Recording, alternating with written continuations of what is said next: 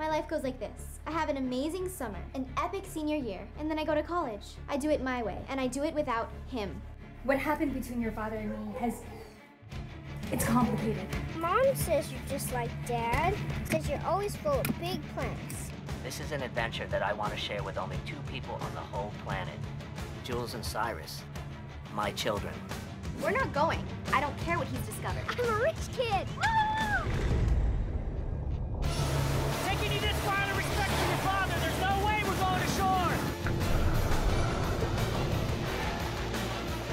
where we are and which way we're going, then we're not lost, are we? Dad, we made it! Why isn't he here?